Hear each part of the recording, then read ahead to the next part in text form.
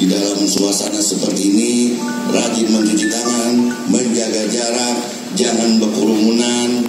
Kenapa jangan berkerumunan? Karena ini potensial akan kalau ada seikung yang terkena tahun 44 beretaan, nah kita sama-sama saling menjaga, saling menjaga, saling menjaga satu sama lain biar kita selamat beretaan. Mudah-mudahan Allah memberikan keselamatan bagi kita semua.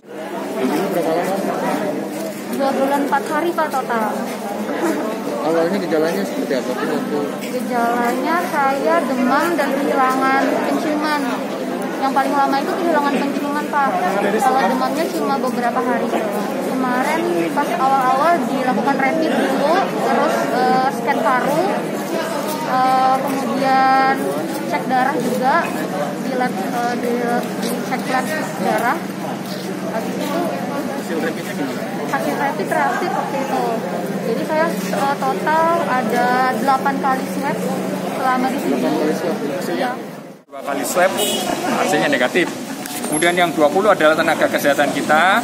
Jadi rata-rata mereka itu dirawat mulai ada yang tiga minggu dan paling lama 10 minggu.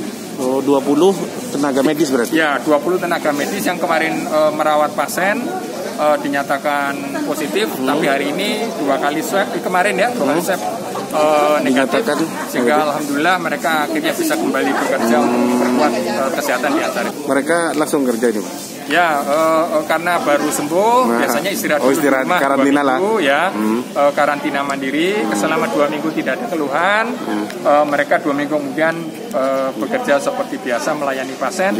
Mudah-mudahan bisa memperkuat kita lagi di bidang kesehatan.